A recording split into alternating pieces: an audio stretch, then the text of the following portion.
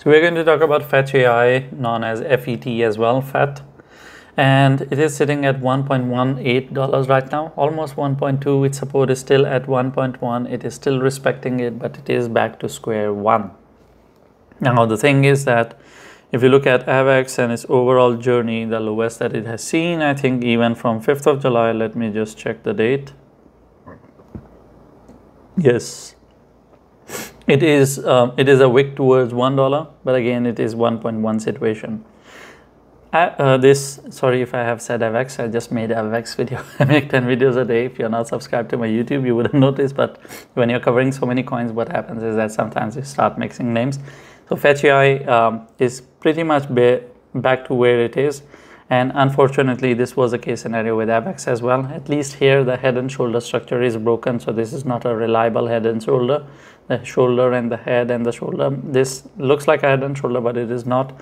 There is a flaw in it, and I'll not get into the detail. But over there, we had a very clean head and shoulder.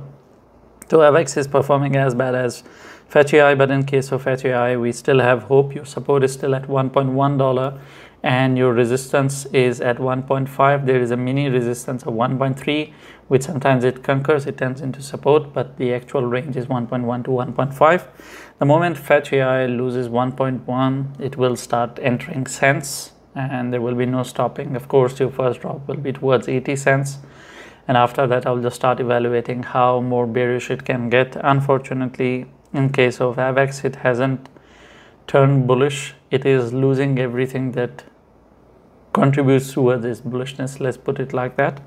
And the from the mid of august it will start turning um, the market will start turning further further bearish. And if FetchAI doesn't go up now after good news of FOMC which is happening soon in few minutes then this is going to be very very uh, bearish case scenario for FetchAI